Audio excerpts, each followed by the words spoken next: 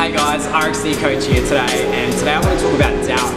Because doubt is something that we all have. I know that I've had plenty of doubt in my life. I've had it in, in my business life, I've had it in training, I've had it since I was young. I know, I know being growing up and being young, I just constantly remember feeling doubtful of myself and feeling insecure and having a lack of confidence, not really knowing if I could achieve all the different things that I wanted to set myself out to achieve. And I know that I experienced that firsthand with training. I remember when I first became a trainer, I was terrified and I was like, I'm not good enough, I can't quite do all the things that I want to get my clients to do. I've, I had, you know, lost the weight that I had lost at the time.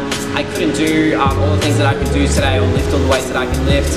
But over time, you know, um, and by starting out and putting in the effort and, and putting that doubt aside and actually putting the work in, you know, all those doubts eventually turn into results and turn into, into time and, and the months of doubt turn into years of progress and years of success.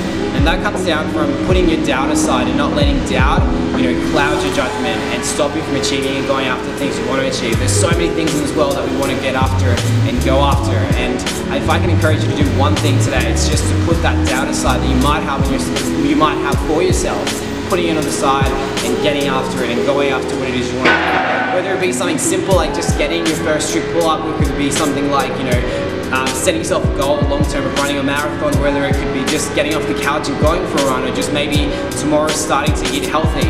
That we all have doubts within ourselves, we all have those insecurities of feeling like maybe I can't do this yet. It's about putting those doubts on the side and going after it and not letting that doubt stop you from taking the action that you need to take.